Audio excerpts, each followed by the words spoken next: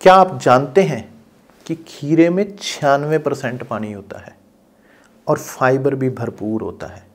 इसमें कैलोरी बहुत कम होती है और ये शरीर को शक्ति से भरता है। पेशाब को खुल कर लाता है। जो व्यक्ति खीरा रोज खाएगा, उसे पथरी कभी नहीं होगी। पेशाब संबंधी बीमारियाँ नहीं होगी। आप खीरे का जूस भी पी सकते हो। ये स्किन को जवान बनाता है। लोग तो खीरे का मुँह पे लगाते हैं, मुँह पे मलते हैं और आँखों पे रखते हैं कि आँखों के काले घेरे दूर हों। लेकिन आपको ये नहीं पता कि अगर आपने खीरा ही खाना शुरू कर दिया और रोज़ खीरे को अपनी लाइफ में आपने पार्टिसिपेट करवा दिया तो आप अंदर से ही जवान हो जाएँगे। अंदर से ही इलास्टिसिटी बढ़ जाएगी। अंदर से चीज़ों से अपने आप को ठीक करो। बाहर लगाने से कुछ नहीं होगा। नकली लाली पोतने से, नकली लिपस्टिक लगाने से, नकली चेहरे को लाल लाल दिखाने से या नकली जो सौंदर्य प्रसाधन आप इस्तेमाल कर रहे हैं, उससे इतना इफ़ेक्ट नहीं पड़ेगा। ये असली चीज़ें हैं। इनको खाओगे तो अंदर से ही ठीक हो जाएगा। जो खीरा मुँह पे लगाने पे इतना फ़ायदा कर रहा है, वो खाओगे तो अंदर से कितना जवान बनाएगा।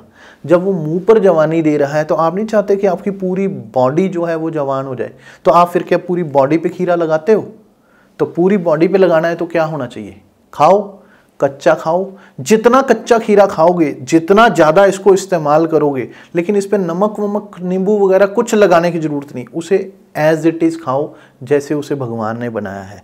ये आपको अंदर से एनर्जी से भर देगा। आप जवानी आपके अंदर छलांगे मारेगी। पेशाब संबंधी रोग नहीं होते जो लोग खीरा खाते हैं। खीरा अमृत समान है। हम असली चीज़ों की कदर नहीं करते। यही अगर आपको एक कैप्सूल फॉर्म में खीरा खीरा दिया जाता और महँगा दिया जाता, तब आप इसे बड़े शौक से खा लेते। और आपको इसके गुण बताए जाते कि लिखे हुए हैं डिब्बी के ऊपर कि खीरे में विटामिन है, खीरे में फाइबर है, खीरे में शक्ति है, खीरे में एनर्जी है, खीरा ये फ़ायदा करेगा, तब आप महँगा लेकर ख़रीदने को तैयार हो। लेकिन जब आपको पता है कि ये तो मुफ़्त के भाव मिलता है और ये तो सब्ज़ी मंडी में जाओ, जब मर्ज़ी मिला मौजूद है, सारा साल मिल जाता है, तब आपको इसकी कदर नहीं है।